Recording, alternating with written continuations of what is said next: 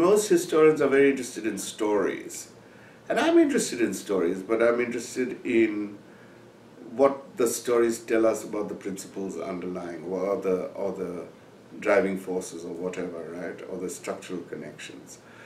So, um, so I think uh, I've always found it a very interesting way to talk about linkages between different areas of life.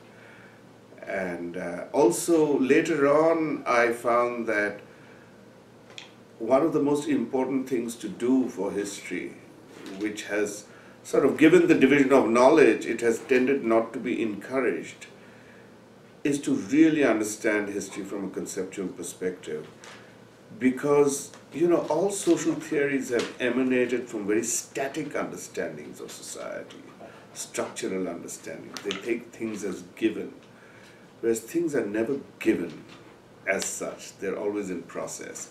So how can we theorize a process is what my efforts have been.